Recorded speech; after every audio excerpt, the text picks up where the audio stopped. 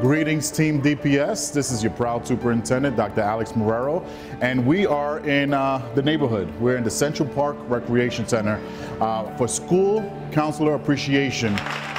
We have an incredible morning to highlight three out of the many incredible school counselors that we have. This is an annual competition in which counselors are nominated to win the elementary, middle, or high school School Counselor of the Year award for DPS.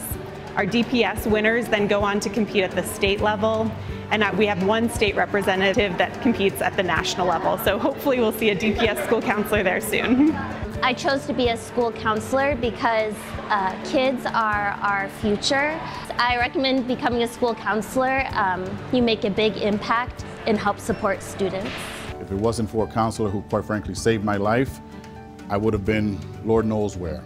Um, and I said, you know what, maybe I can do what they did to me one time over. And I've been able to do it now hundreds of thousands of times over. This goes out to all of our school counselors and all our special service providers across the district. Uh, the Herculean lift that you all do and the intimacy that's needed, especially as we rebound and recover from COVID, is truly, truly insurmountable. Shout out to all the counselors in DPS, you're making a huge impact.